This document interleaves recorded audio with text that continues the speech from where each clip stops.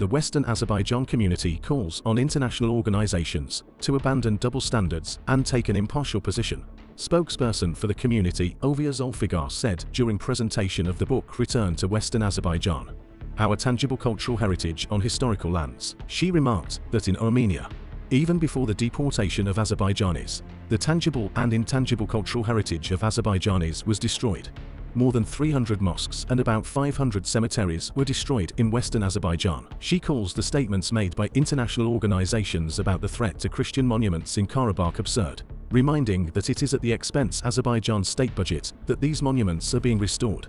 We do not see any calls or condemnation in connection with the destroyed cultural heritage sites of Azerbaijan. We call on international organizations to abandon double standards and take an impartial position.